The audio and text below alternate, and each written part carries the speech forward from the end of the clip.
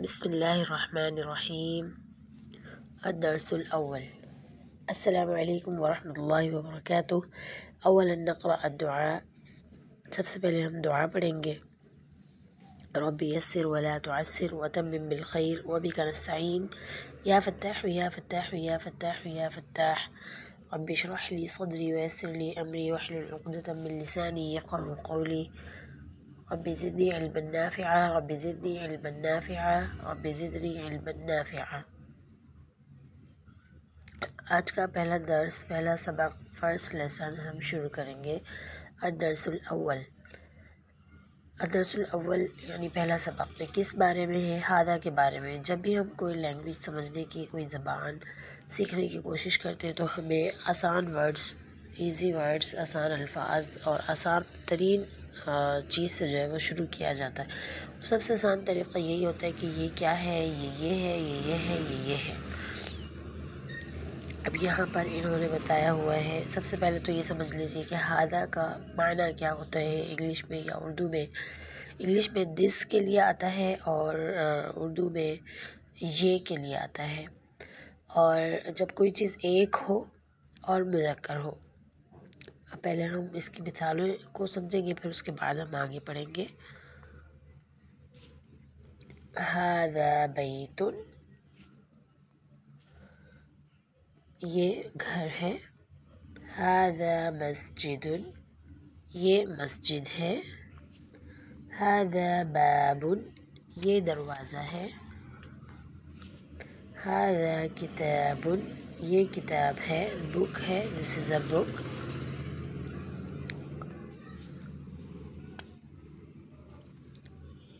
हादा कलम ये पेन है, कलम है।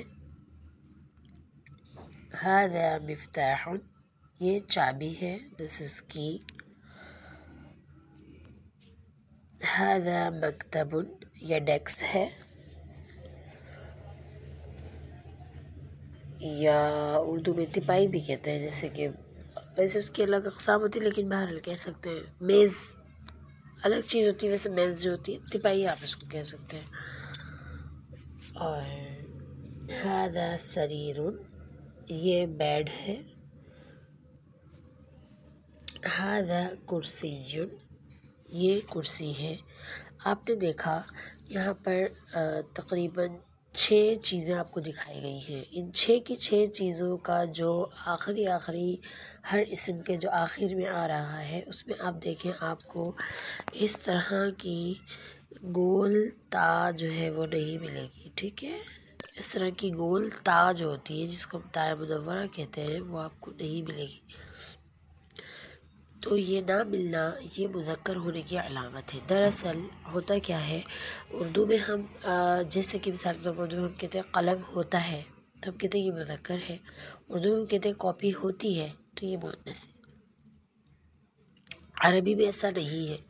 अरबी में अगर किसी भी नाम के आखिर में, किसी भी इसम के आखिर में अगर आपको गोल ता नज़र आ जाएगी तो वो अफन उसको हम मुअन्नस कहते हैं। ठीक है जी। उसके बाद अब हम नीचे आ जाते हैं।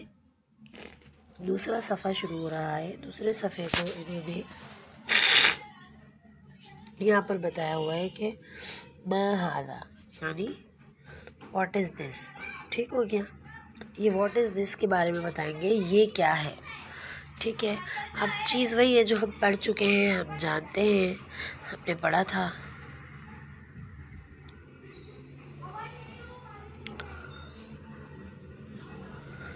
ठीक है जी।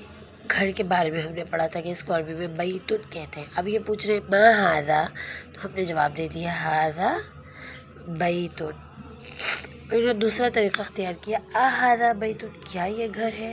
यानी वो अपना एक किस्म का यूँ समझ रहे डाउट क्लियर करना चाह रहे क्या ये घर है? तो उन्होंने जवाब क्या दिया? नाम हादा बैतुन। उसके बाद यहाँ पर क्या है ये? अमीस शर्ट अब वो क्या पूछ रहे हैं? माँ हादा। ठीक है, ये क्या है? तो उन्होंने जवाब दिया, हादा कमीस ये शर्ट है। कमीस है, उर्दू में भी कमीस ही कहते हैं।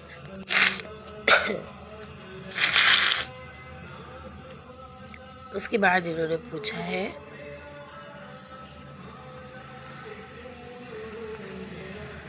अहादा कुर्सी तो अफन, अहादा शरीर पहले वाले में उन्होंने जो बैत था, उसको बैत ही पूछा था, लेकिन अब चूँकि दूसरा उन्होंने थोड़ा सा डिफरेंस लाने के लिए, आप लोग को जनरेशन कराने के लिए, उन्होंने क्या किया? कुर्सी के बारे में उन्होंने पूछा, आ अहादा शरीर? तो उन्होंने कहा, ला, ये शरीर नहीं है।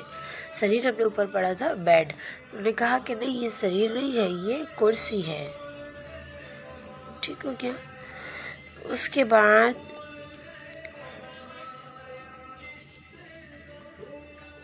ये देखिए, अब ये हम ऊपर पढ़ चुके हैं कि ये कलम है। तो अब वो पूछे अहादा मिफ्ताह? उन्होंने बता दिया कि नहीं नहीं।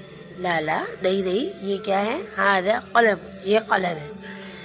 अच्छा फिर उसके बाद उन्होंने सीधा सीधा पूछ लिया, माँ, हादा, ये क्या है? उन्होंने कहा, हादा नजबुन ये सितारा है।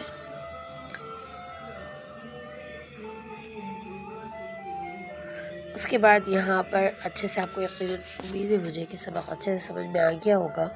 यहाँ पर तमरीन दी हुई है तमरीन नंबर एक में चीज़ें यानी उनकी शक्ल बनाई हुई है और आपसे पूछा हुआ है कि ये क्या है, ये क्या है, ये क्या है।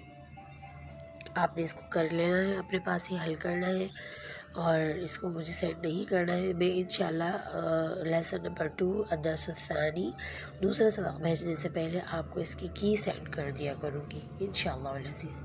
उसके बाद तभी नंबर दो दी हुई है, ये भी बहुत आसान है। आहदा बैतुन आहदा मफ्ताह आहदा कमीस आहदा नजमुन, ये हम पढ़ चुके हैं। और तभी नंबर तीन से इंशाल्लाह हम जो नेक्स्ट हमारा लेक्चर होगा, दूसरा लेक्चर हम उसमें पढ़ेंगे। और पहला लेक्चर है तो इसलिए थोड़ा मैंने छोटा रखा है। इंशाल्लाह अगला लेक्चर जो है लेक्चर थोड़ा सा बड़ा होगा। ठीक है जी?